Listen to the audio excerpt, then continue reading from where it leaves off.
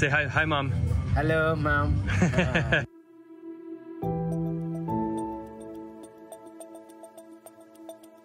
Hey mom, so today Nick and I decided to change the pace and explore more of the spiritual side of Ubud. We visited two temples and traveled to the rice paddies of Tegalalang. Our first temple was Gunung Kawi.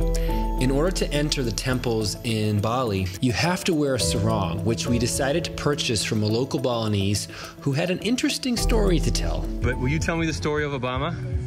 uh, Barack, Yeah, Barack Obama come come here five years ago. five years ago. Yes, five years ago in two, 2017. Uh, he was with the his family come here Okay. and then going to the temple. Uh, he's very very friendly. I talk hello Mr. Barack Obama and his hands were hi how are you like that. But I don't have the hand like that because too many people and bodyguard. After that great unexpected story, I grabbed my sarong and we headed through the gate. Gunung Kawi is located in the Tampaksiring village. It's estimated the site was built in the 11th century and predates the introduction of Hinduism in Bali. It consists of a series of shrines called Penharman, which were built to honor and worship the ancestors of the kings. It was a long walk down. So we stopped for a photo overlooking this beautiful jungle.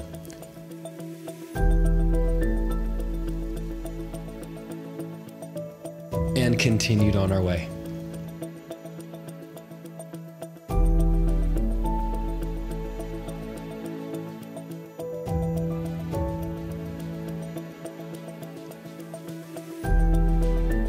So by the looks of people walking up, this is going to be kind of a difficult trek back up.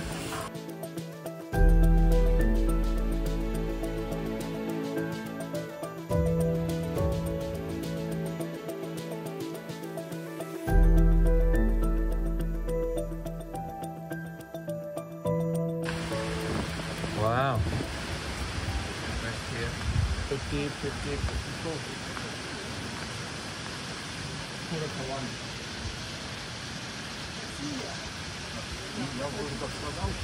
Whoa! That's stunning. Девочки, малыши!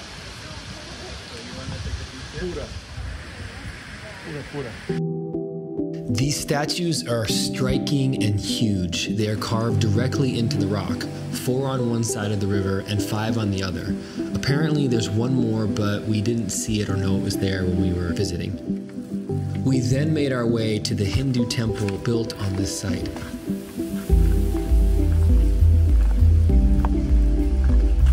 What's the significance of these doorways like this? like it's the for the gate the main the main gate for the main, So when you wear the sarong, you have that's when these gates. yeah Because you see these same things um, everywhere. yes Right? everywhere everywhere in also in bali we make a one gate You make what? one gate in one house One gate. yeah Okay. in the temple also So, after a long and tiring hike out, and certainly a few coconuts along the way, we met our friend again and got ready for our next temple visit at Tirta Empul.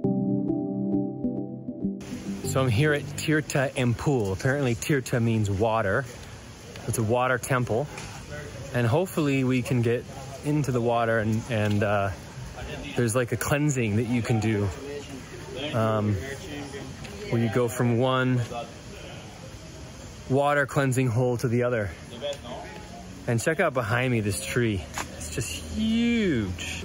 These look like people going to get their cleansing.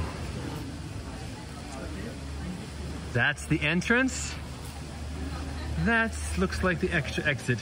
Girls drenched. Yes, you guessed it. In order to enter the temple, we got back into Asari, this time green. We were given an offering which we placed on an altar after we set our intention. We then got in line and played the waiting game. When we finally got in the water, it was cold. So you can probably guess what Nick and I were talking about. I'm sure it was something like, Hey, that girl cute. Yeah, really cute. You like chocolate? Yeah, chocolate good. Anyway, after our deep conversation, when it was my turn, I eagerly jumped in, only a little too eager because I bumped my head.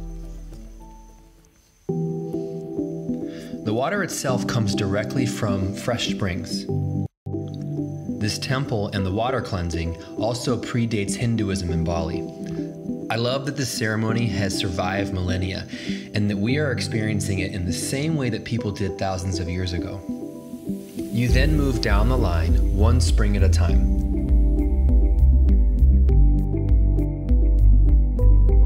By the fourth, I definitely felt a certain heaviness lift. I also figured out how not to bump my head.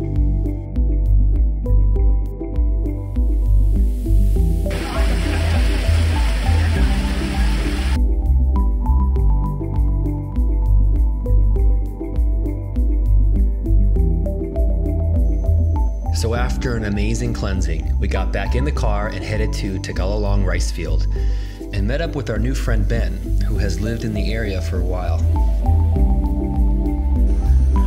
Wow.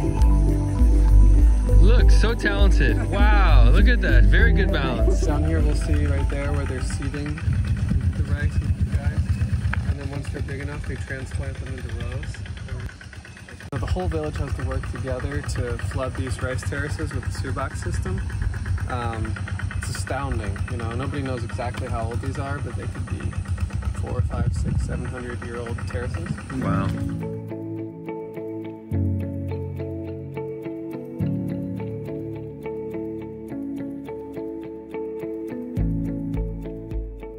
Uh, wow, they have done a lot of planting.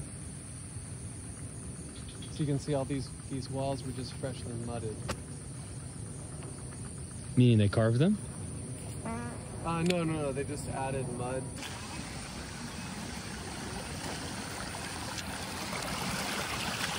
Hello.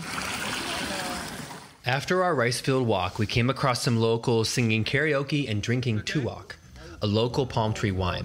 It can only be harvested by climbing up to the top of a palm tree and collecting the natural fermented tree sap. Thank you. Suksama. At the end of our long day, we made sure to grab some food and, yes, more coconuts, and reflected on an incredible day of adventures. I also have to reflect on how fun it's been to have Nick to travel with these last several days. He will be leaving tomorrow. It's been incredible, and I'm left with a feeling of both gratitude and also a little anxiety about returning once again to my solo traveling. And while it might be sad to say goodbye, this does leave open the possibility of meeting new people and having new adventures. To my mom and everyone watching these videos and supporting me, I just want to say Thank you so much.